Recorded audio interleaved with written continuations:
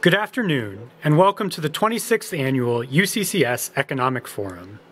My name is David Siegel. I'm the Executive Director here at the Ent Center for the Arts at UCCS, and I will be serving as your MC during today's event.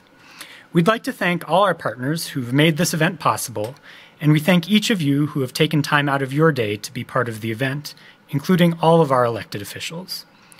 Now, please help me wel- welcome Dr. Venkat Reddy, Chancellor of UCCS.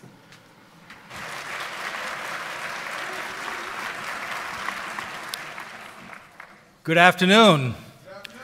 So, this is like I'm on a vacation seeing so many people at one spot. It's been a long time that we actually had this many folks together and uh, long overdue. Uh, but welcome to the 26th annual UCCS Economic Forum. It's wonderful to see you all here today.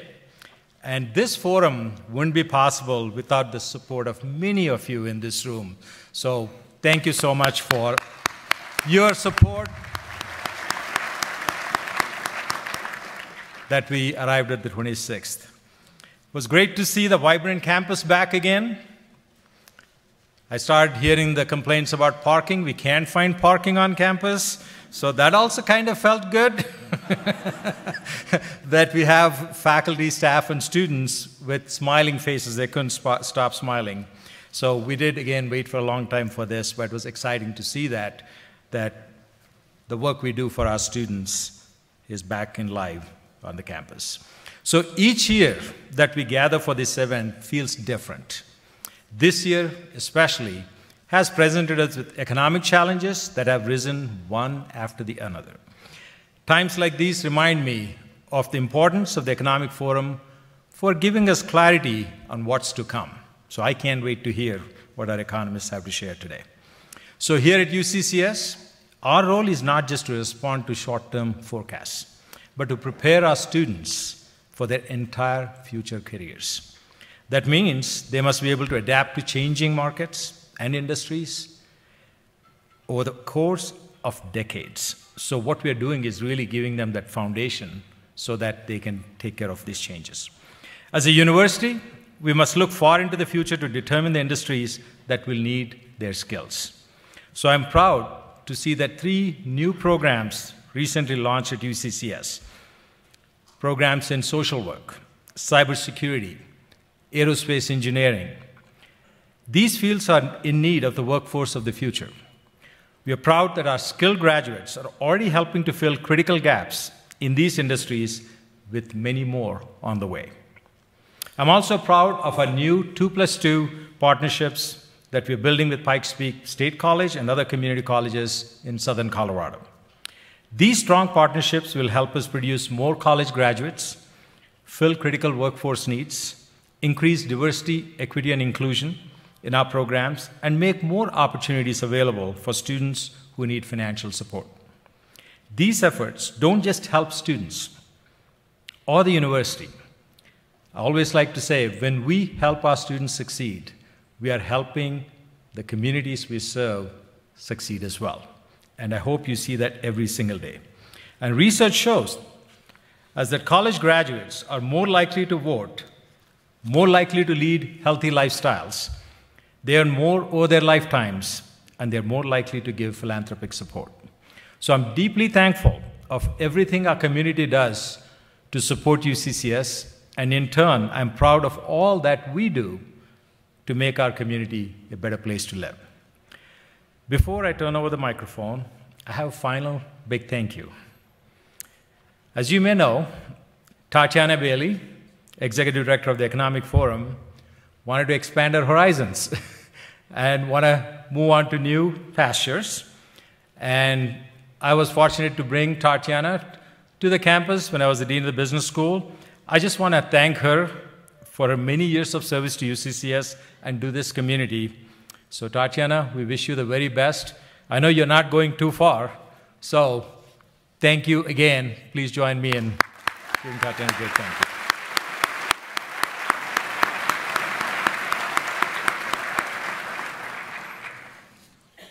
It's my pleasure to welcome Karen Markel, Dean of the College of Business.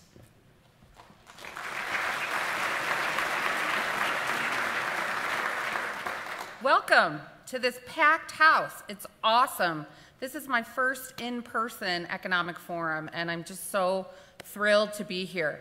Um, we're excited to be hosting the annual economic forum today. The success of this event over the past 26 years is the direct result of the active partnership and participation year after year from our business community. Thank you so much for your ongoing support. I'd also like to offer a special thank you to our forum founders, Dr. Tom Zwirlein, Dr. Jeff Ferguson, and Ron Chernak for their vision and efforts in making this local economic forum possible. Since 1997, the UCCS Economic Forum has, just, has been just one example of how the College of Business partners with the community. Our mission states we prioritize and empower learners at every stage of their educational journey, develop innovative research that contributes to scientific discovery and effective business practice, and serve as a hub for our community in productive discourse practical learning, and social responsibility. The Economic Forum has been providing targeted economic information to drive business and government decisions to greater Colorado Springs. And our academic programs aim to produce students to serve your workforce needs. We have a successful history of working side by side to build the strength of the college in our region, and we look forward to identifying new, innovative ways to support, to support our local workforce in the years to come. As we all know very well from the last couple of years, forecasting the next year and even the next few months is challenging. That is why we all look to experts to provide insights into our economic future. We look forward to hearing a timely presentation today from our forum director, Dr. Tatiana Bailey, regarding our state and national economy as well as from a workforce development panel addressing the linchpin to sustainable economic development, hosted by Dr. Bailey, Ron Fitch, Joe Garcia, Kimmelyn Harris, and Catherine Keegan. I also want to thank all of our partners, specifically our platinum partners, Bank of America, the FBB Group, Merrill Lynch, and Ent Credit Union, and our gold partners, the Community College of Aurora, Pikes Peak Workforce Center, and a special thank you to our media partners, Colorado Springs Business Journal, the Gazette, and Fox 21 News. We also wish to thank our nearly 50 silver and sustaining level partners. Not only do our partners support the forum financially, but they also provide their expertise and use their business connections to help bring you an outstanding program. We are grateful to host the 26th UCCS Economic Forum in person as we look ahead towards a very bright future in Colorado Springs. I'll be back to close our event later this afternoon with some exciting announcements and a special thank you to Dr. Bailey. I hope you enjoy, enjoy today's programs. Thank you, Dr. Markel. Now, we're pleased to share a few words from the Mayor of Colorado Springs, the Honorable John Suthers. Hello, everyone. I'm Colorado Springs Mayor John Suthers. It's my pleasure to welcome you to the UCCS Economic Forum. This is an important event where you can gain good, unbiased, and well sourced data to help you plan for the future. As some of you may know, this is my last year as mayor after serving two terms. And during that time, I received my fair share of complaints. But even the complaints make me feel good about our progress. People used to complain about the condition of our roads. They said we didn't have enough new construction, not enough cranes. And they said young people were leaving Colorado Springs. Now they call my office and complain about all the road construction. They're upset about all the cranes. And some even claim our city's being overrun by young people. We have consistently been named as the most desirable place to live in the country. And a big reason for that is our economic growth. With a current population of about a half million people, Colorado Springs has grown from the 42nd to 39th largest city in the country. While our population growth has been steady, our economic growth has been exponential. The gross domestic product of Colorado Springs metropolitan area has grown by a third over the past eight years, from 30 to 40 billion dollars annually. Our city's economy is now ranked among the top 10 municipal economies in the country driven by both job growth and wage growth. We've created about 47,000 jobs since 2015. We're also among the top 10 cities in America where college graduates want to live. The reality is, you cannot create the 5,500 jobs needed annually to accommodate our graduating children and grandchildren who want to live here without growing. And the fact is, all healthy cities grow. I'm proud of the state of our economy and grateful to you for your investment and interest. Thank you for your dedication to Colorado Springs, Olympic City, USA. Our presenting partner is Bank of America. Please welcome Mr. Jason Edelman, Director and Market Executive of Merrill Mountain Plains, Bank of America. Right, well, thank you. First of all, let me just thank the group, the team that put this together, the 26th annual UCCS uh, uh, Economic Forum. It's really great to get everybody together. I know last year wasn't, uh, wasn't as lucky, but it's really good to have everybody together. So, my name is Jason Edelman. I am a managing director with Merrill Lynch and Bank of America. I'm part of the Colorado leadership team. And on behalf of all of our associates in Colorado, everybody, uh, we are proud to return to return as a proud sponsor of this economic forum. Uh, this event is truly part of our continued commitment to make financial lives better by connecting our clients, our employees, and our communities to the resources that they really need and deserve to be really, really successful. Uh, our expertise and resources provide us with the opportunity to really play an important role in helping to build thriving economies around the world and then right here in Colorado Springs as well. Uh, in fact, when you look at you know, uh, Merrill Lynch's wealth management, private bank, uh, Bank of America's consumer and commercial banking capabilities, we can pretty much do everything under the sun, and we, we incorporate that into the, to the help that we provide the communities.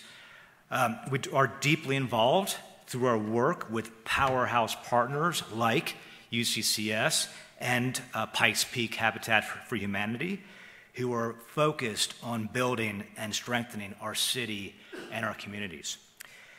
This economic forum brings together visionary leaders, which you're going to see, right? And, and, many of you in the room as well, uh, who have made a commitment to drive our economy forward. You heard from the, from the uh, mayor as well.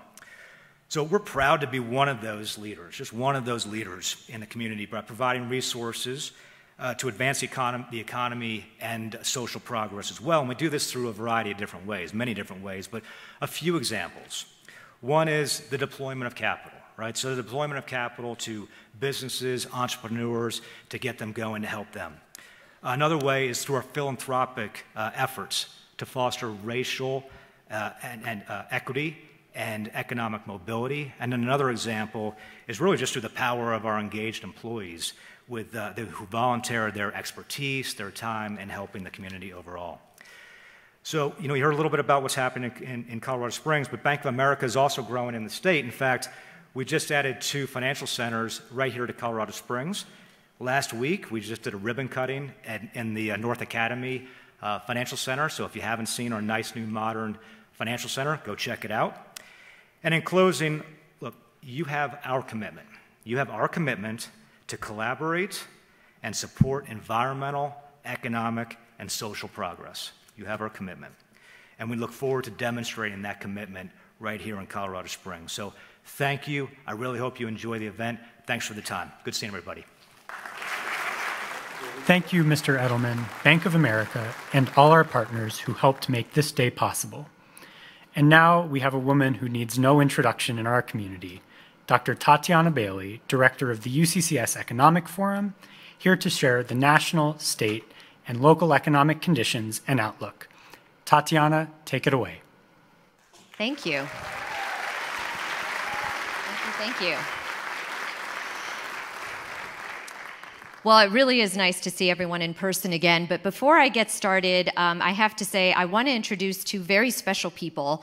Uh, I think the second year um, I was here, I wanted to start a fellowship uh, for a couple of students. UCCS, you know, access is an issue. I'm a first generation student focusing on first generation students or just high need students in general. And we finally made it happen this past year. So I'd like to introduce Amanda Ford one of our uh, fellows who was awarded um, this for this academic year, and also uh, Diego Hurtado, come on up as well, and they just want to say a quick word. Hi, I'm Amanda Ford. I'm a sophomore at UCCS, and I'm double majoring in business, international business, and political science. And I just want to thank the sponsors of the Economic Forum for giving me this opportunity and letting me focus on academics and professional development this year.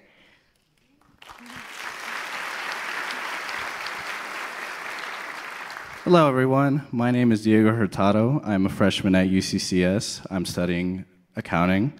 And I just want to thank everyone who donated, all the organizations and people who donated. Without this, this wouldn't be possible. Thank you so much. God bless America.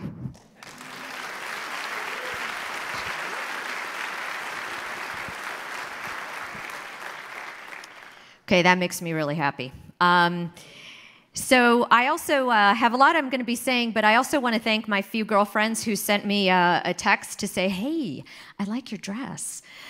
Because um, uh, any of you women who have daughters, you know, I showed this to my two daughters who were here, and they were like, oh, um, interesting. Um, Pan Am flight attendant circa 1960. Wow, too late to change now. So, anyway, they always keep you grounded, right? Those kids? Okay, so always, always start with gratitude. That's what I tell my kids too. Uh, forum founders, uh, two people who are very special in my life, in particular, Tom Zwirlein and Ron Chernak. Both retired now. A huge thank you to them. Just had them at my house the other night because Ron Chernak is also transitioning out uh, into retirement. Of course, all the community uh, sponsors, the partners of the UCCS Economic Forum. I think when we started, Tom, um, you know, Tom was a full-time professor, uh, had a handful of sponsors, and now we have about 60. I've always been overwhelmed by the level of support and positivity in this community. So a sincere thank you to all of you. Um, and a huge thank you to Rebecca. I know she's out there, but I, I have to say it. Um, the University of Colorado system, everyone, uh, including my colleagues at uh, CU's uh, Leeds School of Business, uh, in what they do, in the resources that they provide. The state of Colorado government offices. I couldn't believe when I first got here how all of these people in Denver made themselves available to me to help me understand the state and local economy. Uh, the governor's office, you'll hear a little uh, clip from him at the end. Um, I'm on one of, I was appointed by him to be one of his nerdy economists, and they too provide a wealth of information for me uh, every month in those meetings. And then the media. I find that the local media here reaches out and they have a true desire uh, to, to uh, bring out good information. So, as, um, as was stated, yes, Rebecca and I are moving on to a new chapter. It's a little daunting, but um, very exciting. Rebecca is a K 12, former K 12 teacher. Now, when I was working part time um, and homeschooling at the same time, uh, I worked for a nonprofit back in Michigan called Corporation for a Skilled Workforce always, always had a lot of interest in workforce as a mom and as an economist. Um, and really, a lot of it has to do with jobs are at the center of everything. That's how businesses function and that's how households thrive. Um, so that's really what I'm going to be focusing on moving forward. Building more collaborations with community colleges. I'm going to talk a little bit more about that, including Pikes Peak State College, Community College of Aurora, and now Pueblo Community College as well. Collaborating more uh, with our local K 12. Already have meetings set up with uh, three um, school districts uh, that I've worked with in the past, but now I can go a little bit deeper with them. They've actually reached out to talk about tweaking their continuing uh, technical education or career technical education uh, with some of the labor market information that Rebecca and I provide. Then we also wanted to scale what we do in some other communities. Over the past three, four, even five years, I was amazed at how many big cities, bigger than ours, would reach out and say, Hey, stumbled across some of your data online or what you're doing with workforce in your community with some other uh, key players. Could we talk with you for a few minutes about how you're doing that? Um, so, the ability to do that a little more um, is part of what we're also looking at. Um, so, really, this new nonprofit is going to stay local, but it's also going to be across the country. Um, not so much doing our own thing as much as supporting the good work of other people with data. Um, and then I'd like to just end with uh, saying that I think we need all of the above mentality. We need economists, we need chambers enabling business growth, we need good government, uh, county and uh, city, ensuring that we have infrastructure, services, um, you know, that, that really help households and businesses thrive. I think we need all of these, uh, all of the above, so that we can reap those synergies between these organizations. And then, of course, here I have all the platinum level sponsors, the gold, the media partners. Whoop, went way ahead there. And then the sustaining level partners. Thank you. Okay, so I'm going to jump right in now. Um, I'm going to talk a little bit about, um, or actually a lot, about this overarching context. This is sort of the framework that I want you to keep in mind as I'm talking about the economic data. Now, if you talk to historians, which I'm not, uh, and you say to them, okay, well, what have been the major transitions uh, that we've had as humans? Uh, they would say probably six of them, big ones like fire, urbanization, and so forth. And it's usually like a millennia in between them, or certainly several hundred years. I sincerely believe, and I wrote an article about this a few weeks ago, that we have three transitioning uh, transitions happening at the same time right now, and we have almost 8 billion people on the planet. Food, that's due to a still increasing population on the planet, but we all know that climate impacts our ability to produce sufficient food and at attainable costs. That's the first one. The second one, energy due to the move towards alternative green energy sources, but we haven't really paid enough attention on how to do that sustainably. Perfect example is what's happening in Germany with natural gas and so forth. Very good intentions, very necessary, but those bridge sources haven't been very well coordinated between uh, countries. The third one, demographic. Due to stagnant or declining population in developed countries, causing labor shortages, we all know about that, right? Alongside increasing population in some of the poorest regions of the, um, of the uh, globe. Now, those are three really big transitions. So, why is an economist talking about this? Because these impact both short term and long term sustainable growth. Now, are we in a recession? That's the big question right now, right? Well, we all know that we have labor shortages, too few workers, and a low labor participation rate. There you have it the demographics. I'm going to talk a lot about that, short-term and long-term problem. This is due, this uh, demographic transition due to aging, lower birth rates, lower immigration. Talk more about that in a minute. The skills gap. Consumer and business confidence is also not so hot, right? The high food and energy prices, again, both a short and a long term problem, causing record inflation that we haven't seen in 40 some years supply shortages and disruptions, which is causing the Fed, with this high inflation, to have to raise interest rates. But will this restrictive monetary policy do the job? Because typically, interest rates go up in order to kill or at least quell demand. But most of these problems are supply issues right? So it's questionable how much impact uh, these uh, interest rate increases are going to have, um, or what pain we're really going to have to withstand. And then I'm going to talk a little bit out, about residential and commercial real estate, and then some final thoughts. Okay, so are we in a recession? All right, Q1 of this year, we did have negative uh, uh, GDP growth, which is really a contraction of 1.5%, so negative 1.5%. Then we had Q2 at negative 0.6%, so almost flat, but still technically two consecutive quarters of GDP contraction. Usually that does mean a recession. Um, now, the Federal Reserve of uh, Atlanta does this GDP now where they're tracking it sort of in real time as the data points come in. So far, that's showing positive growth for the third quarter. Okay, we won't know yet for, for a little while. And then, really, it's this uh, group of eight economists, only eight economists, imagine that, National Bureau of Economic Research, that makes the final call whether it, we're in a recession or not.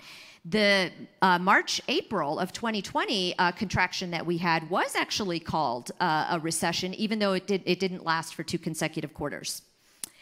Now, I'm thinking that in these transitions that I'm talking about, with these structural headwinds, I think big problems call for big solutions, especially when you have 8 billion people on the planet.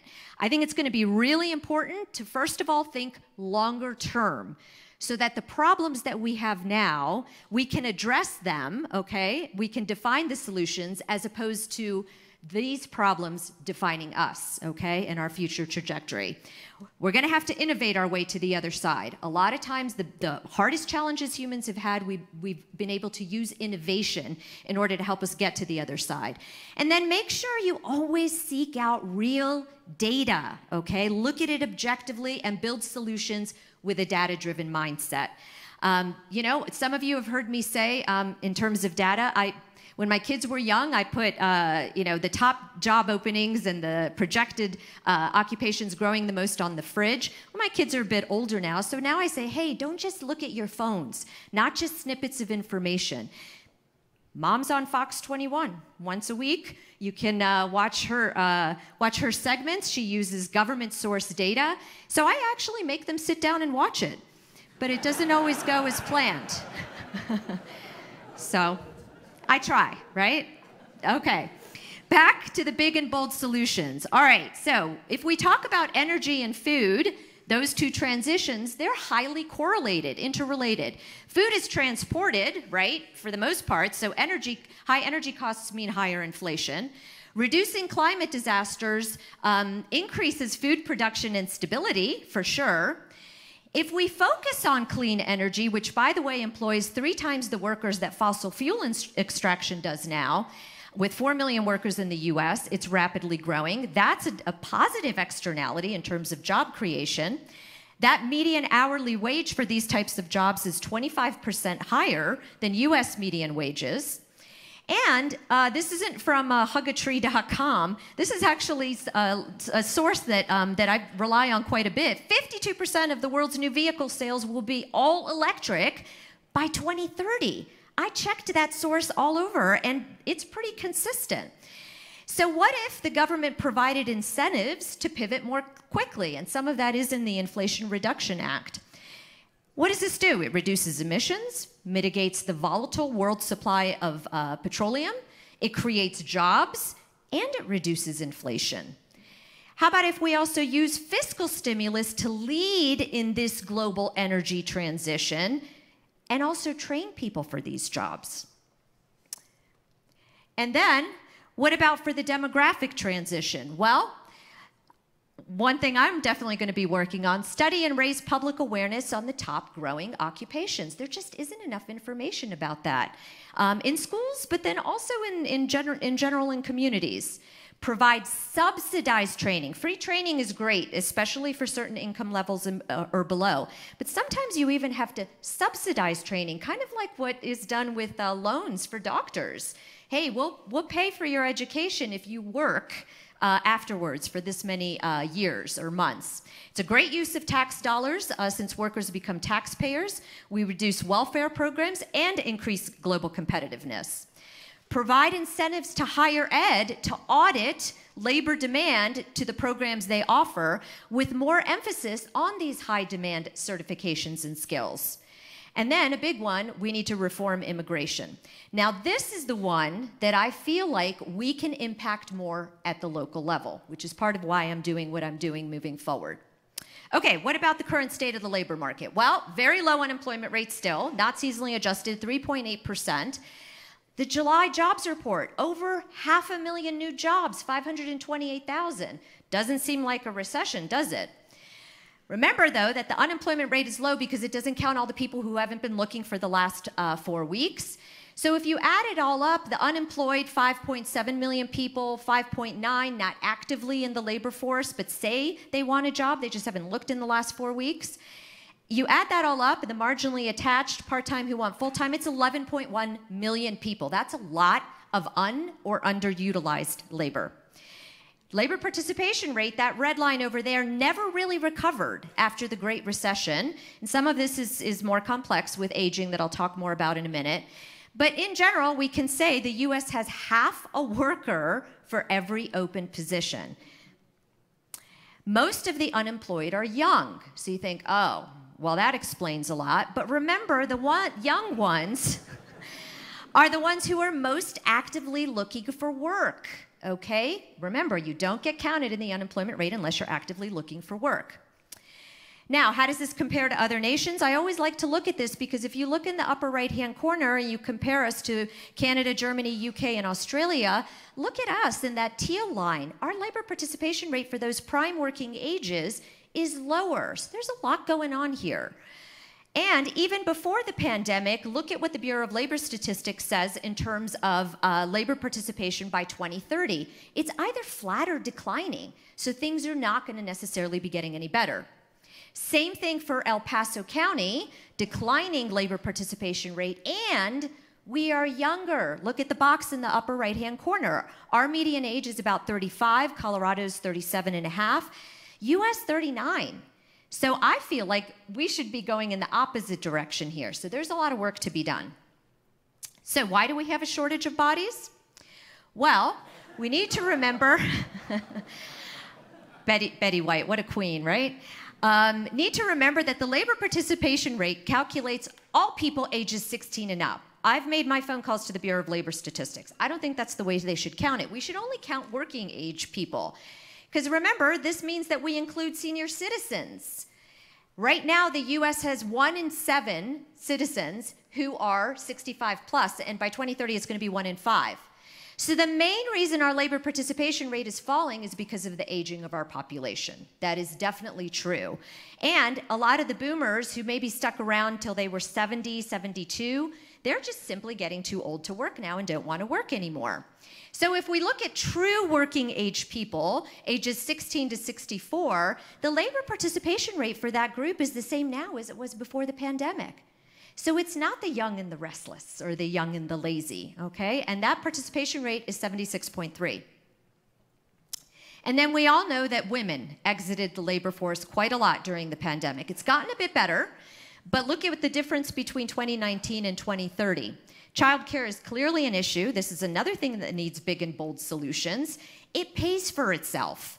Rebecca and I did a study with the Legacy Institute a few years ago that showed the return on investment for just a FORS program for uh, low and uh, middle income uh, families is 19% in a given year. If you look at the long term benefits for, uh, for the kids in terms of better learning and better outcomes, it's actually a 30% ROI. That's pretty high. And then we can't forget that we have fewer children now than we did 10 years ago. People stopped having really big families many years ago, and now it's sort of coming to roost. Um, we also need to talk a little bit more about legal in um, immigration. I mean, if we simply don't have enough bodies, we're going to have to look to other parts of, of the globe. Speaking of that, look at that line for Africa. That's the only one that's really significantly increasing, as I stated earlier, poorer regions. Look at Europe, the magenta line. By 20, uh, 2050, I think it is, the UN projects that there's going to be an even further decline by 20%. Uh, in the European population. Latin America is growing modestly, and they are probably our closest uh, geographically. Um, so that's another reason I think to look at um, avenues to make them uh, legal citizens. And of course, the shortages are made worse by all of the quits that we have. They're at all time highs. Now, you can see in the upper right, it is leveling off, but it's still record high levels. And this doesn't usually happen during recessions or recoveries. Now, this is actually a good thing. Another, another thing that is impacting the shortage uh, of, of uh, workers is that we have more self employed people. That does usually happen during recessions because when people lose their jobs, they're more motivated to maybe start the business that they've wanted to start. And remember, this is a million more people who are saying they're self employed compared to 2016, and those are the ones who are reporting that they're self employed. Now, what about our demographics? Well, you can see we're the green bars, and uh, we've always outpaced the US in terms of population growth rates. But look at how much it's been falling in the last few years. And it's for all the reasons I just talked about. Same thing for El Paso County. Okay, we are still projected to be at almost a million people by 2050, um, but you know, definitely a declining rate of population growth. Most of our migration is in migration. Um, and then you can see over here, you know, Denver and El Paso County, not the MSAs, not the full cities, but the, the two counties, have always kind of gone back and forth on who's bigger. Um, but it's pretty decidedly El Paso County now, as you can see in the bottom right. And then if you look at the entirety of the United States, you can see that the, um, the purple areas are the uh, ones with growing populations. Gray is kind of modestly growing, that's where we are. And then the orange ones are the ones with population decline, mostly the industrial belt. And then, you know, if we look at our growth uh, and we uh, do it by age, look at the two bottom lines, red and green. 18 to 29, that's still increasing. That is a huge comparative advantage. And then look at the US, those same two cohorts completely flat. So we do have increase in young cohorts now, workers, potential workers. Look at the 30 to 49, the top bar for us, also growing. So this is a huge competitive advantage for us, but only if we train workers for the jobs of today. And then another important thing, look at how what a large percentage of our population is going to be people of color by 2050. So we need to make sure that these cohorts have accessibility to really strong, good K 12 and post secondary education because they are our future workforce as well. Skills gap. That's another major barrier. We need every worker we can get, so let's make sure we train them with relevant skills. So, job openings aren't the problem. 11.2 million. Look at how that's off the charts um, on the upper right. And yes, it is stabilized, but it's still at record levels. Many of the non participants, uh, Bureau of Labor Statistics does surveys, say, hey, I stopped looking for work because I don't have the skill set that employers are asking for. It's a huge argument to be made for reskilling and upskilling people. And I uh, commend actually Pikes Peak Workforce Center as they focus a lot on that. And remember, about half a worker for each available job. We have openings across a lot of industries. This is not a problem just, for instance, for leisure and hospitality.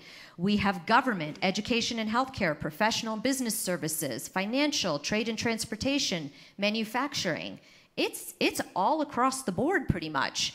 And then look at the job openings in April of 2019, about 7 million versus 11.2 million in 2022, uh, just this past month, up 55.6%. And then what about locally? How can we figure out what our skills gap is? Well, first of all, we have about the same uh, shortage of workers, about half a worker for each open job. Colorado's even tighter. That's mostly the Denver Boulder area and the ski communities, by the way, at 0.4 um, available workers per job. These are our top 10 job openings. I typically look at the top 30 or 40, but here are the top 10. The letters are the risk of automation, something we really need to pay attention to as well. And you can see the number of postings and the market salary. This is really good, important information that people should have, especially kids. And a total of about 27,000 job openings in the month of July. And that's local. So, back to the big and bold solutions, closely examine the labor market in your region. That's number one. Look at the top occupations, the number of openings by occupation, the market salaries, the most demanded skills and certifications, and then juxtapose those uh, to those employer needs to the training programs that you have in your community. Do they match or don't they? Do they match well? Do we have the right programs? Are they at scale, at the scale that we need them to be for the hundreds or thousands of openings we have? That's how you actively build a pipeline of qualified workers. Most of the highly demanded occupations and skills do have livable wages. I look at that data every month. And remember that relevant training and good wages is also how you pull some of those workers back into labor participation. So I looked at this. This is the July data for our region. These are the top demanded certifications. Yes, things like a driver's license, you need to, uh, to drive in most, but also security clearance. A lot of IT jobs, like cyber certifications, network administrators, truck drivers, uh, certified nursing assistants, med technicians, phlebotomists, and so forth. All of those are really high demand, right? And then what about programming um, and software related skills? Well, look at the top ones. This is just, that's just the Microsoft suite. Commend again Pikes Peak Workforce Center. Uh, we looked at this data together uh, at the beginning of the pandemic, and Traci Marques said, "Well, let me let me see if I can get an online training program for the Microsoft suite that people can do at home." What a great idea, right? And then, of course, you have other ones that are mostly certifications Linux, Java, SQL, C, and so forth. Oops, it's a little touchy. Now, in juxtaposing these top occupations, you can literally list them out and then in a handy Excel spreadsheet say, hey, are those programs even offered locally? Right here, I have the ones that are offered by Pikes Peak State College. Yes or no? That's a start, right? And you know, as an example, Rebecca and I did in 2017 an audit of some healthcare positions. Look at medical assistants. We had 1,063 openings in 2017, and we trained 214 people.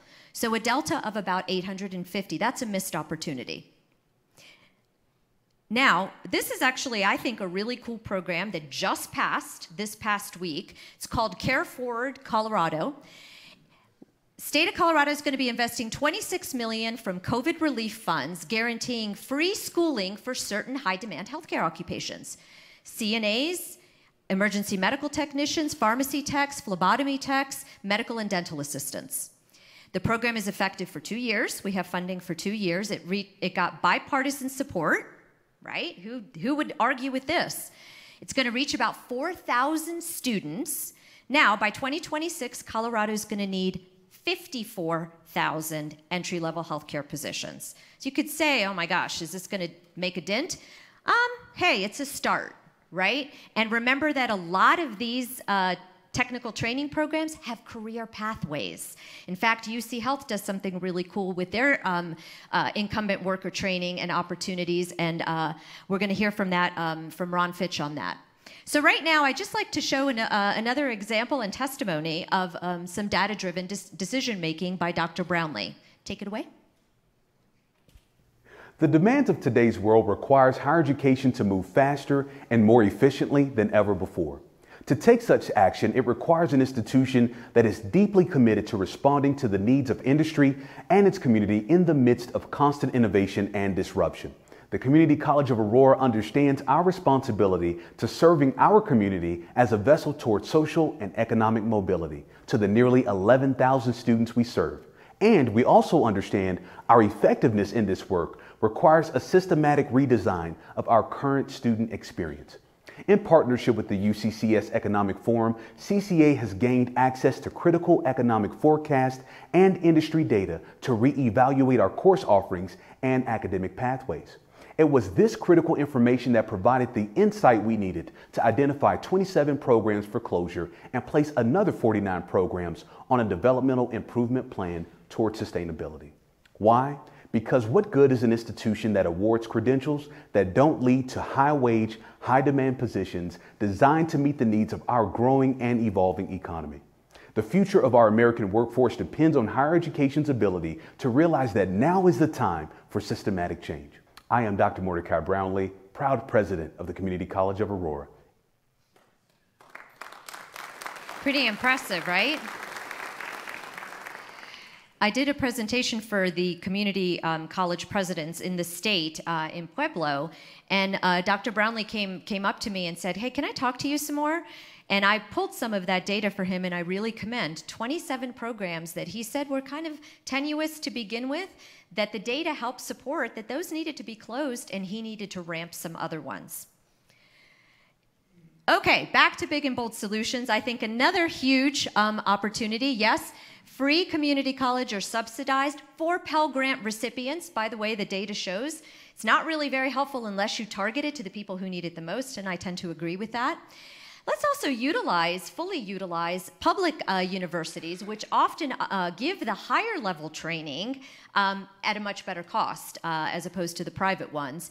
And then I think a big one too, look at how many veterans we have in El Paso County 84,000. Um, as, as Ron knows, I call these low hanging fruit. I mean, there's a, there are a lot of great communities or a lot of organizations that, uh, that are already doing wonderful work in this in terms of transitioning these. Um, but again, let's use the data to fully employ those, uh, those opportunities. Okay, so I don't think anyone argues um, workforce development is a golden opportunity. Uh, especially if it offers livable wages. Uh, you get all political affiliations behind it. Um, what if we could choose to provide the paid training for the highest demand occupations as it raises labor participation, raises the tax base and home ownership, all while boosting business growth and global competitiveness? Some of the positive ripple effects that um, I know that this would bring is decreasing poverty levels, decreasing transfer payments, welfare payments, substance abuse, and crime rates. The highest crime rates are in your highest uh, areas of uh, unemployment, all while providing more opportunities for at risk communities and chipping away at generational poverty. Okay, what about state and local labor markets, including wages?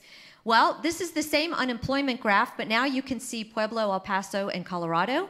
Um, our region in the state is very low. Remember that economists uh, say four to four and a half percent is the uh, natural rate of unemployment, uh, and we are well below that. Pueblo is a bit higher at 5.4 percent. This is how we compare. Pretty much all the MSAs in our region are somewhere in that three and a half range, except for Pueblo. These are our employments by sector, you can see. Um, pretty, uh, pretty uh, diverse, if you will, for Colorado. Healthcare, retail, professional and technical, accommodation and food, construction, and so forth. I think one of the things that's really interesting is when the pandemic hit, people said, oh, states like Colorado are going to hit, get hit especially hard because of the hospitality uh, uh, dependence, if you will. But look at, we are so diverse with a lot of professional and technical and finance jobs and so forth. We did just fine. Also, we have outdoor sports. So that, that certainly helped. And then you can say pretty much the same thing about El Paso County. We're a little more reliant on healthcare uh, and social assistance, but still good representation in terms of employment across many sectors. And then if you look at the projections uh, from the Colorado Department of Labor, these are the sectors, the ones that have been growing a lot, that are projected to continue to grow. Look at what's transportation and warehousing, Amazon Prime, uh, 7% increase there. 67% additional employees projected um, by 2030 for us. And then I also like to pull this data to look at what are the new businesses being formed here by sector. Look at the one with the biggest growth, professional and technical. And this is uh, comparing 2006 to 2021. Now, this is, the, you know, kind of the bad news. Our wages are still lagging. Wages are horribly sticky. We have a long legacy of being at a lower average wage than both the US and Colorado. It's kind of hoping that the pandemic numbers, as they started to come in, would start to close that chasm. Doesn't really look like it. El Paso County wages are about 14% lower than the US and about 18% lower uh, than the state of Colorado, which is mo mostly uh, Denver Boulder. That's a problem. Now, it's a whole other presentation, and I do have theories behind this. Um, so it's some of it is explainable, but a lot of it is also problematic, especially as I get to in a few minutes the real estate section. You can't have lower wages uh, than the U.S. and have higher median prices than the U.S. in terms of housing. And then um, the one good thing is we do have a lower proportion of our population at 9% at or below the federal poverty level compared to the US at 12%. But I'd also like to show you this, you know, livable wage that MIT does. For instance, let's look at a household with two adults, one of them working and two children. That one adult needs to make $80,000 a year in order to just meet necessities. Sorry about this. Um, okay, and then that tied to that, I think we also have to pay attention to wealth inequality. I did a paper in early. Uh, early 2020 that looked at wealth inequality, income inequality, three different ways. I personally think that the best one is not income, but wealth. And that's because it incorporates assets, right? Like, does somebody own a home or a car or whatever? The Federal Reserve tracks this data. The top 1% of the United States uh, that top shelf there, uh, the dark green, had 32% of the wealth in the United States, and the bottom 50% had 2.4% of the wealth. That's that little skinny uh, red line at the very bo uh, bottom. I don't think you can find an economist that thinks that that's sustainable. Um, so I think that's also something structural that we need to pay attention to. And I do think that it's also a lot of the reason that we have the polarization that we do. There is a professor named Scott Galloway who I listen to pretty routinely from uh, NYU Stern School of Business. He, he, cited a study that said 60% of Americans think that the opposing political party, people in the opposing political party, is the quote, enemy, the word enemy. And I liked what he said. He was astounded by that. And he said, Our greatest ally will always be other Americans. So let's also talk a little bit about post secondary education costs in the US because this is also exacerbating our labor shortages. We are at 43% of our population in Colorado having at least a bachelor's degree, second most uh, educated, compared to the US at 32%. But we're also one of the worst states in terms of the proportion of tuition that students have to pay at public institutions. So there's a bit of a mismatch there, right? And remember, we also have a lot of in migrants. So a lot of the people who live here got educated somewhere else. Also, enrollments are down. Uh, compared to 2021 to 2020, for instance, in Colorado, enrollments are down 5%. Now, some of this is the demographics that I talked about, but there's also a bit of a shift going on in terms of what type of education do you need in order to get um, a sustainable job and a livable wage job. Student loans, we all know, are a problem. Student uh, debt now amounts to 1.75 trillion with 43 million borrowers. That's more than credit card debt. Federal average student loan is about 37,000 and 55,000 for black borrowers. 20 years after entering school, half of the uh, borrowers still owe 20,000. I think about home ownership, right? And wealth accumulation there. And it's ubiquitous. Today, 70% of college grads have student loans. Okay, so this permeates, right, all throughout the economy. And completion is still a problem. On a weighted average basis for the different types of institutions, about half of university level students who enroll do not graduate by the end of their sixth year. And at that point, it's pretty unlikely that they're going to. So, how much of this is attributable to costs that I just talked about? Probably. Academic readiness? Probably. And income inequality? Probably. All of the above. Back to the big and bold solutions. Pell Grant recipients, I think actually should have access to more free training. And that can be higher ed, it can be certification, um, because this is also going to help address the wealth gap. It's good training and good jobs, that's how you break that generational poverty. Okay, so what about some other important metrics? All right, so savings um, rates, it's interesting. I don't think this is talked about enough. They're now at about 5%, and they were at about 8% before the pandemic. I don't think we're looking at that quite closely enough.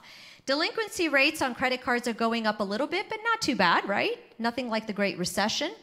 But we are starting to see a little bit more reliance on credit card. And remember, the interest rates on those credit cards are going up. Now, 8.5% uh, inflation was the latest read in July, down from, I think it was 9.1%. Um, but remember, always look at baseline effects. That 8.5% is from a year ago, 12 months ago. But prices started to increase at 4% or more in April of 2021. So any of the increases we're now seeing are on top of the increases 13, 14, 15 months ago. So keep that in mind. Also, the cost of living index for Colorado Springs is now at 1, uh, 104.1%, meaning we're about 4.1% more expensive than the uh, average US city. It was lower than 100, by the way, uh, when I got here. Now, part of the problem with inflation is how broad-based it is, right? Look at it, it's, it's across many goods and necessities and, and big components of household budget, food, gas, uh, electricity, shelter, which, by the way, is going to keep feeding these inflation numbers because that metric lags significantly, and uh, cars and trucks. And then, of course, the big problem is that even with the wage increases we've seen, if inflation is this high, real wages are down 3%. That's a big problem. So this puts the Fed between a rock and a hard place, absolutely, having to raise interest rates. But as I said, a lot of our problems are supply side issues, and this is attacking it more from the demand side. And then I'll give you a peek in the forecasts. I'm actually thinking the Fed funds rate is going to have to go to 4%, with inflation being what it is, which is a little bit higher than what a lot of other uh, economists say. And now, what about the consumer confidence I talked about? Well, I was really surprised to see University of Michigan, first game, by the way, on Saturday against uh, CSU. Um, anyway, uh, here you can see that consumer confidence is lower than it was during the Great Recession. that can't be right. But then if you read the detail, it's all about inflation. That's why it's as low as it is. Good time to buy? Clearly not. That's kind of fallen off a cliff, right? Unbelievable. And then people have said to me, wait a second, retail sales are good though. Come on, things aren't so bad. It's in dollars. You see that jump over there on the upper right hand? That was April. Literally, that was April 2021 when prices really started to increase because this is, this is incorporating uh, uh, dollars. Now, yes, some of this was uh, you know people buying more things, especially when they were at home, and it's leveled off. Um, but you know it is highly skewed by inflation. S&P 500. I mean, this is really crazy. Uh, thanks to Brian Lang, I got some help uh, from uh, Merrill Lynch in terms of looking at this sort of the right way, because there are many ways to look at it. I think this 12-month uh, moving average is the best, going back to 2015. You can see, look, all right, different uh, percentage increases in the S&P 500, but look at 2021, 31.2% increase. Uh, that's overvalued, right? So no big surprise that year to date we're only at 1.3%. There's a lot of correction. Okay, and then I also like to look at local consumer confidence. Um, I, I, can't do it all by myself, so I just rely on new vehicle reg registrations, things like that. Pretty steady for the last many years. Luxury up 67% over the last uh, three years. Uh, so that tells me people who have money are spending it, right? And then if I look at sales and use tax, that's also been up, but it's also measured in dollars. But at least it never had fell off a cliff like we thought it might during the pandemic. And then business confidence. Here you can see that's also not so good over there on the right hand side. And if you look at the surveys, you can see that 37% um, say inflation is their number one problem. No great surprise. The highest level since 1979. 20% of businesses plan to create new jobs. Ah, What's going to happen with the labor market? I don't think that's going off a cliff either. 48% of respondents say they have increased compensation. Wage inflation. There you go, right? Wage price spiral. About 50% of owners say they couldn't fill job openings, and 91% of them said they had few or no qualified applicants. All right, now I'm going to transition into housing. Real estate makes up about 12 to 15% of GDP if you include all those components. And then I pay a lot of attention to this because it's A, usually the biggest uh, amount that a household has to spend every month, but also it's the primary mechanism for wealth accumulation. Here, this is US existing single family home prices. You can see that, you know, during the pandemic, almost became logarithmic, and July is still high at 411,000. Double digit high double digit increases um, a year ago and for most of this past year, now moderating but still increasing. Home sales have definitely cooled because of the higher, uh, higher interest rates. That's not a huge, huge surprise, and this is for new homes. And then permits are now down about 12% compared to a year ago. And the National Association of Home Builders, in their survey, they are not as optimistic. They are uh, quite cautious now. Home ownership rates, um, we get spotty data from El Paso County, but you can see that in the early 2000s we were closer to 70% and we're now about 65%. Here you can see all but one of the 185 um, MSAs, cities that were uh, tracked by National Association of Realtors, showed gains in single family homes in um, the past quarter. 80% still had double digit growth. Now it is cooling, but it's not, again, falling off a cliff. 100% of condo homes increased. And then you can see median prices over the past year up 14%, condo 12, 12 almost 13%. And then National Association of Realtors is actually saying for this year, home prices are going to overall, over the course of the whole year, have about an 11.5% increase in prices still, with the amounts there, and almost 9% for new homes, but then pretty flat for next year. Okay, I'll get it right. There we go. Delinquency rates, um, I keep an eye on this as well, and they went up a little bit after the pandemic, but uh, they have stayed uh, pretty, pretty manageable thus far. Existing home sales have actually decreased uh, for six straight months. Year over year, sales have decreased 20%. Okay, so again, cooled, but a year ago was really hot. 32% um, overall price growth in the past two years, 32% on average in the US. Now, this Moody Analytics did this, and I found this fascinating. I don't know how they do this, but a lot of people pay attention to it. Housing market is 24.7% overvalued, slightly higher than what it was during the Great Recession. That's alarming. 84% of the US markets are considered overvalued, and some are much worse, like Boise. Look at that, 72% overvalued. And I'll, i believe it because I'll show you some data in a second. And then Moody's is actually ex expecting a depreciation of 5 to 10% in the next year. And then a couple of slides on Colorado real estate. We are unfortunately still one of the most expensive states uh, in the United States in terms of home prices. And then this is from uh, Leeds School of Business. Um, you can see here that the dotted line shows you the number of permits issued for single and multifamily Match 2002.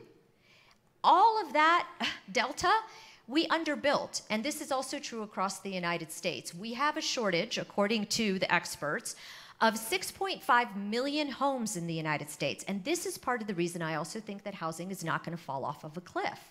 If you have that much of a shortfall, there's still going to be some demand out there. And then in terms of apartments, we are ranked the eighth um, highest state in terms of um, apartment rentals. Uh, you need about $30 an hour to rent an average two-bedroom apartment in our in our state, um, and at the min- our minimum wage, that would mean 75 um, hours a week of work. And then local real estate, in 2006, our local median home price was 8% below the US, and at the end of 2021, it's worse now, we're 22% above the US. And remember what I was showing you about wages? Being 14% uh, below uh, Colorado? That's a, definitely a problem, okay? And then over here, you can see um, for new and existing in our region, um, look at our average home price in July and look at our increase it's been a lot more precipitous, and now we're almost at a logarithmic level. And this is a lot of the reason that I think things are going to moderate for us. And up there, you can see the average and median home price, average being about 560,000. Average days on market is 14. That's still pretty quick turnaround for homes.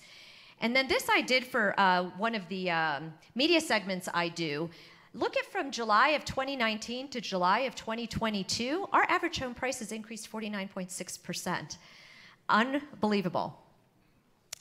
All right, and then here, if I had to guess, and I have called a lot of my colleagues uh, in the real estate industry, this is where I think prices are going to end up on average for 2022, and those are in the boxes in the upper right hand co um, corner there. And I will tell you too that the median home price in our region is moderating. It's even seen a, uh, some declines over the last uh, couple of months, modest declines, much more than average home price. Why? Because the people who have money are buying the really big, uh, the really big and expensive homes. And then here's uh, the forecast in the actual dollars. Up for us uh, in 2022, 10% for the median, and up 9.7% um, for uh, the, uh, the median home price. And then foreclosures, I got a little nervous up there in the, um, on the right-hand side, but they seem to have come back to, uh, to a level that is pretty much what it was pre-pandemic. Hopefully it'll stay that way. And then this is just showing um, our appreciation compared to some uh, other MSAs across the United States. And I, I found this kind of hard to believe. I mean, look at what about Fort Collins? How did Fort Collins become so expensive? Um, and then look at Boulder, 933,000 for the median home price in Q2. And then I also want to show you that most of this, the home sales in the United States are between that 100 and 500,000 range, and we are at between 300 and 800,000. Okay, so that's definitely pulling up our average as well. And then that same graph that I showed you for Colorado, this is it for our region. And I've calculated US has a shortfall of 6.5 million homes, ours is about 12,000. Same type of methodology that I used. And then this one, I actually have an article coming out a week from uh, Sunday. This is called the Housing Opportunity Index, and that shows the percentage of median priced homes that are affordable to the uh, median home, uh, median uh, income home. Okay, so well, basically what people can afford. Look at where we are. 23%. As recently as uh, Q3 of 2019, we were at 71.4%. We pulled these numbers like three times because we couldn't believe how, how much lower all of these cities got. Unbelievable. So we'll see if we're going to have uh, the type of correction that some are saying. So we're going to continue to have upward pressure um, on interest rates, slowing in migration, stock market volatility. All of these things are going to moderate home prices, right? Number of listings should continue to increase. That's going to help moderate prices. So instead of having like 20% appreciation, we're probably going to be down closer to the 10%. That's the recap. And then just a couple of slides on apartment.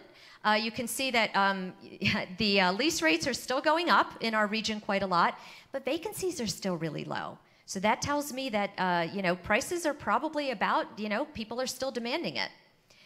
Housing and urban development is still calling us a slightly tight market, so that kind of validates what, uh, what I'm seeing and hearing from uh, my colleagues in uh, apartment. And then, what is the fair amount that could that should be paid according to the Low Income Housing Coalition?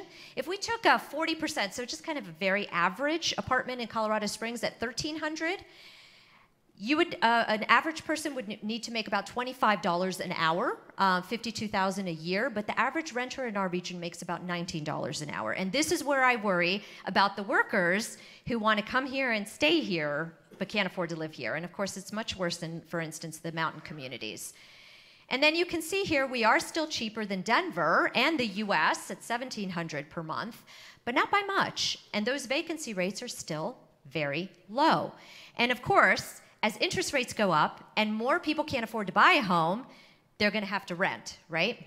So that keeps demand up as well. Brief comments on commercial real estate. The record low construction that we had in 2021 in retail, multifamily, and office actually helped.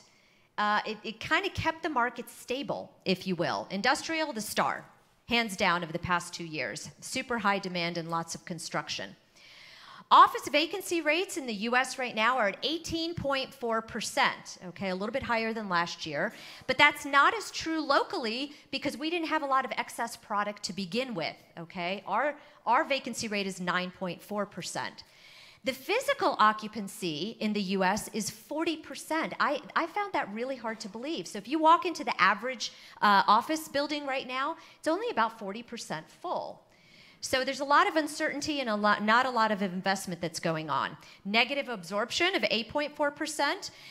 McKinsey did a large uh, study looking uh, with 25,000 people in the spring, and it showed that 58% of Americans have at least one day a week that they're working from home, 35% that are fully remote. And the third most common reason for quitting is because of no remote options. So I'm not an expert on this, but a lot of experts who are say work from home to some degree is here to stay. And that, of course, impacts the office uh, category here. Multi family, you know, off the charts. Record growth, uh, never seen it um, in the, you know, 40 years they've been tracking it. 17% growth in effective rents. Vacancy rate of 4.5% across the US, and still high absorption. Retail, everyone thought it was going to fall off the cliff during the Great Recession, um, but it was already adjusting. So rents and vacancy rates are actually still pretty flat. E commerce is now about 15% of all commerce, so that's certainly impacting that. Um, and then the vacancy rate is at 10.3% nationwide uh, for smaller retail and 11% for malls. Industrial, super low vacancy rate of 5%. Effective rents are still going up, and asking rents still up 12% year over year. And then this is what our local market looks like. And you can see our vacancy rates are pretty consistently lower than the US. And then lastly, um, growth forecasts, better known as Guessonomics. Um, I always like to talk to young people. Um, you know, I have five kids, so I talk to them a lot. And I said, you know, what, what do you guys think? Are we in a recession? You know, what's going to be happening? And this is what I got. Look at the guy in the middle there, right? All right, so uh, it's a little bold to make any forecasts right now, but I'm actually sticking pretty close to what the conference board says. They are saying that we're going to end up this year at a very modest growth rate of 1.3%, um, and next year, pretty flat. 0.2%. Um, you know, and uh, I think it's something like 60% of economists are saying we're going to hit a recession uh, next year if we're not technically in one now. And then here you can see uh, they are saying that we're going to have stagflation, which is basically uh, inflation alongside little to no GDP growth. And that's because of inflation and higher interest rates, supply chain issues, mostly in China, Ukrainian crisis affecting commodity prices, a certain recession in Europe, uh, with probably uh, 18 to 20 percent inflation rates. Uh, now, the Inflation Reduction Act here should help a little bit, $400 billion, but we're not going to see the benefit of that until probably late 2023 or 2024. That's just how these things work as they roll out. Um, the, actually, it's Wells Fargo who's saying inflation for this year is going to end up at 8% and about 3.5% for next year. Uh, consumer spending is going to only increase 2% and then be flat okay, basically moving forward. Residential investment down this year, 5.5%, and down another 4.7% next, um, next year. That should actually be 2023. Unemployment rate holding steady around 3.6% this year and 3.7% next year, and I agree with that for all the workforce reasons I already talked about. And then something I think is not being talked about enough, I think we're still going to have a lot of volatility in imports and exports because of the strong dollar. So that's another monkey wrench uh, that's out there. And then this is the same graph, but with the state and local growth rates. You can see there, um, I'm actually forecasting the gross state product for 2022 to be a little bit higher than the US. It's typically how it's been for Colorado at 1.5%. And I'm pretty bullish on Colorado Springs at 1.6%, and that's how quickly we re rebounded in jobs and so forth during the Great Recession. And basically, all the momentum we have going here. And then, yes, constrained growth next year, but still at higher rates than the US.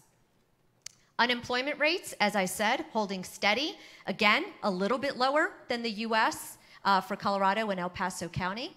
And then I'll just uh, kind of end by saying I really am uh, overall bullish for Colorado and Colorado Springs. It's not as much population growth, but it's still growing, still young and educated people. We've become more of a destination for knowledge workers with remote work, diversity of sectors, a lot of innovation, still very robust tourism, a lot of growth in professional and technical, including Department of Defense, finance, insurance, healthcare. And then we do have higher labor participation here uh, than uh, the rest of the United States, and we still have a lot of nice growth in uh, downtown. And then here you can see some metrics on tourism. Look at how we're beating out Denver right here. Look, hotel occupancy. Um, we just uh, have become more and more of a destination. Look at enplanements and so forth. And then um, I'm going to end with gratitude as well. Um, I think one person I really want to uh, thank is um, my husband. When we moved here um, eight years ago, uh, I had been working part time, uh, homeschooling for several years, and my husband really stepped up. Uh, you know, he saw me busy and so forth, and you know, he's picked up the uh, the cooking and uh, all kinds of things around the house. So I thank him. Um, he does wear goggles with uh, onions, and then. Um, in two days, on Saturday, we're going to be married for 34 years. Yep. I did have to get a note from my parents to get married on that day in September of 1988. And, and, and then that's us. Um, just uh, like two weeks ago uh, at a Canadian wedding. Um, my husband's Canadian. So um, thanks to my husband for putting up with me and for, um, you know, enabling me to do all the things that I like to do, including the, the next chapter. Um, it's been a very productive uh, marriage, as you can see. Um, these are uh, our kids at a gin distillery, um, so thanks to them as well. I think I have three of them here tonight. Um, so thanks again, and um, that's the end of my presentation. Thank you, Tatiana incredible information, and congratulations on 34 years. Now, please help me welcome Kimberly Sherwood. Kimberly will guide a short conversation with Tatiana and will be back to moderate our panel following a short break. Kimberly.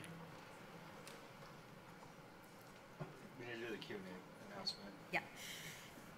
Okay. So you do the microphone. I okay. the computer. It's a, there's a, it's a do this, I guess. Okay. Yep. Do you want to stand up? No, no, it's all good.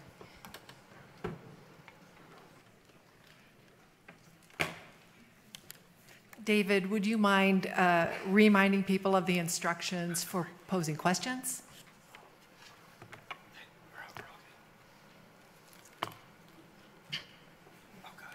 Or I guess I can do it. It's on the back of your ticket, I think, right? The back of your agenda. Back of the agenda has meeting pulse where you can submit some questions. And I think because we started late, we'll probably uh, keep Q&A a little bit on the shorter side, but I am available for a couple of questions.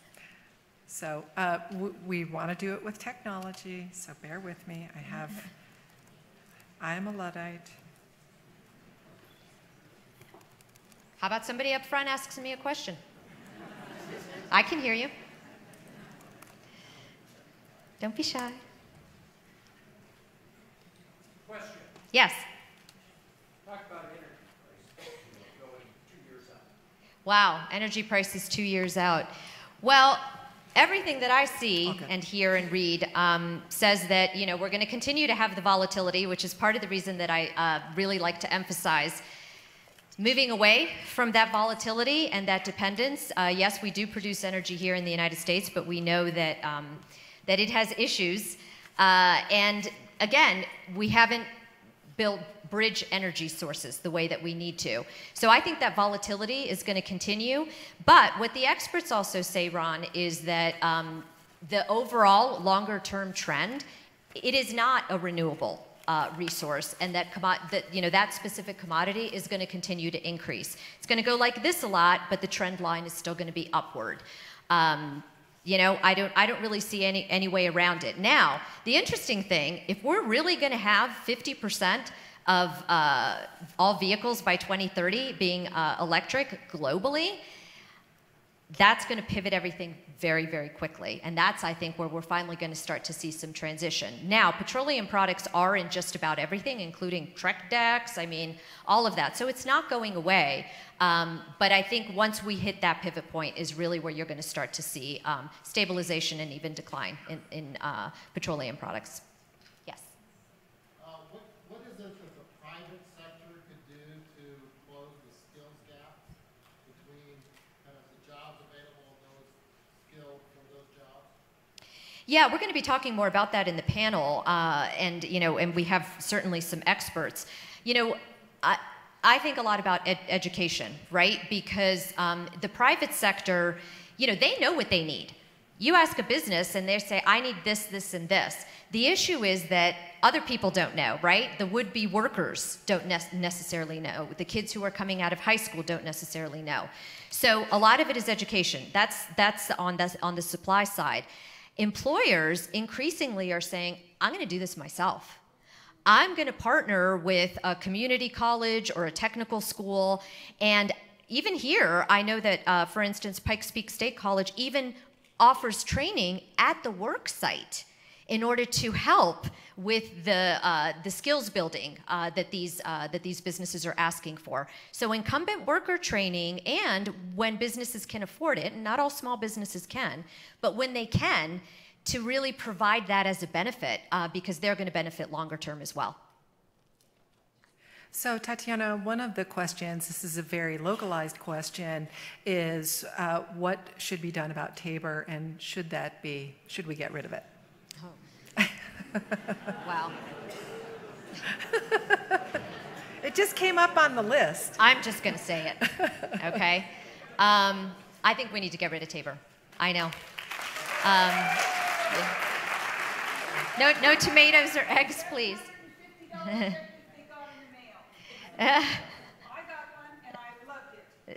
Well, and I, and I think that that's great. And you know, that some people say that's politically motivated and so forth. Part of the reason is, you know, we are a growing state. That's the issue, you know. I mean, I lived in Michigan for many years, and that's a declining, um, uh, you know, population there. When you have the type of growth that we do, you need infrastructure, you need the maintenance, you need new type of infrastructure. You need to make sure that the schools are getting everything that they need and so forth. And I'm not just and I'm not one of those people that says just throw money at it. No, you have to do it responsibly. But a lot of these investments are investments that have a very positive ROI down the road. Why? Because it makes things easier for businesses, it makes things easier for commuting, all of the different things. Um, so I think for every dollar you put in, that you know the opportunity cost of those Tabor dollars, I think you're usually, for the most part, getting more than a dollar out. And I think we need that in our state, quite honestly. Well, thank you. Uh, this is um, the time at which we're ready for a break. So it's yeah. 3:05, and